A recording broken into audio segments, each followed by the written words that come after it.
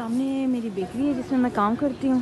ये उसकी, इसके सामने आयल है। देखो कितने सूप टमाटर का, मशरूम का creamy vegetable soup tomato soup chicken soup और देखो टमाटर, कटे हुए चॉप टमाटर।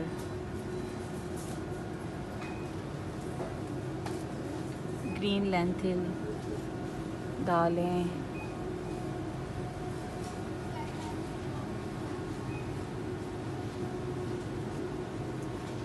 और ये सारा बेकिंग का सामान। ये देखो, कितनी प्यारी प्यारी बेकिंग मफ़िन्स वगैरह के ऊपर डालने वाली चीज़ें। स्पंज बनाने का सारा सामान। डिफरेंट किस्म की आइसिंग शुगर वगैरह, मैदा। सब कुछ मिलता है।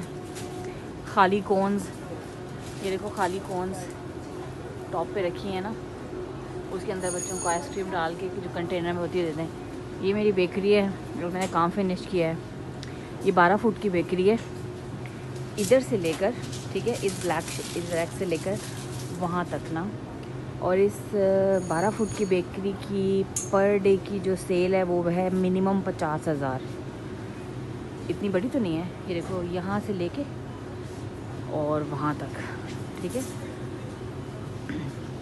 तो इसकी देखो ना, जो इसकी मिनिमम सेल है, जो सैटरडे को होती है और फ्राइडे को होती है, वो होती है तकरीबन एक लाख बीस हज़ार या समथिंग अंदर भी देखो इतनी वो नहीं है। तो देख लो। हमारा डिनर टाइम है पाँच से छः। तो मैं काम से आया? हूँ तो थोड़ी सी देर हो जाती है, वरना देखो ये टमाटर प्याज की चटनी बना के ग्रीन चिलीज डाल के ये गार्लिक एंड जिंजर एंड काली मिर्च में कीमा आलू है। कीमा आलू क्यों है? वो ऐसा, वो इसके लिए है। चिकन पैटीज़ नीचे से हो गई है ऊपर से हो रही है? देखो कितनी भूल गई है। ब्राउन होना शुरू हो जाती है। तो ये मसाला जाएगा इसके अंदर।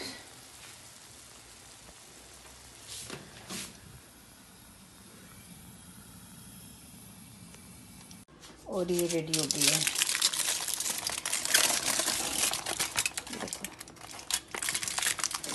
इतना भी गर्म है, इसको इसको मैं छेड़ने दी जब तक थोड़ी सी और ठंडी हो जाए।